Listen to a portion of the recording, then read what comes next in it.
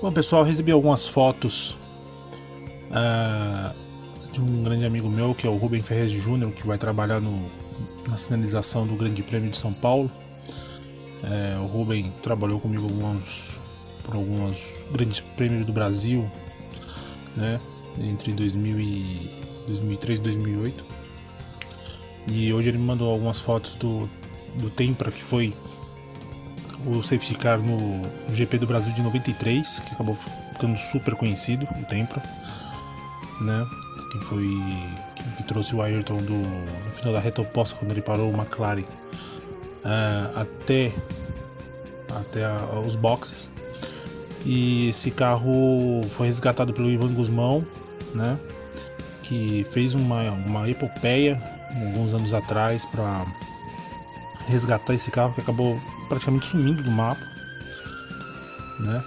Depois do, do GP do Brasil ele acabou sumindo do mapa, o carro foi para as mãos de um, de um, italiano, descendente italiano, depois passou por alguns outros donos, até que esse carro foi resgatado aqui no interior de São Paulo, em São Roque. E o Ivan acabou comprando o carro, né? Acabou comprando o carro e, e automaticamente é, reformando ele, colocando os decalques da época, o giroflex tudo mais. O... E aí agora para esse GP de São Paulo ele vai, ele vai estar junto com outros carros antigos ah, num desfile. Vai ser bem bacana, bem emocionante. Eu acho que vai ter um. Acho que vai ter um, um sósia do Ayrton também na. Ah, na janela do, do, do assim como o próprio Ayrton em 93 saudando o público.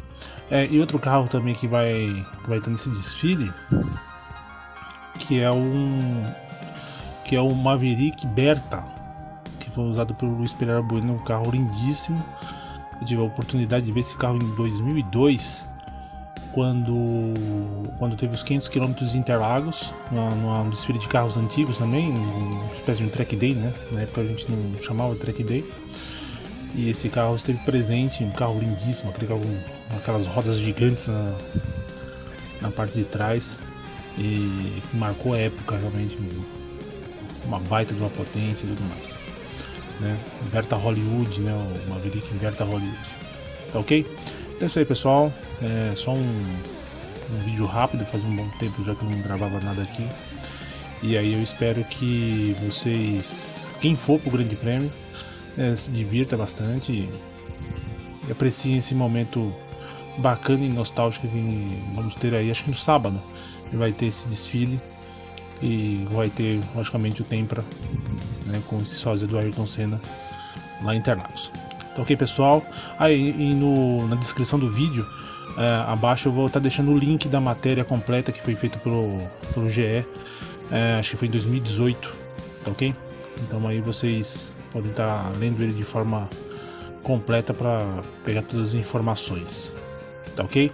Então é isso aí, pessoal. Até mais. Obrigado.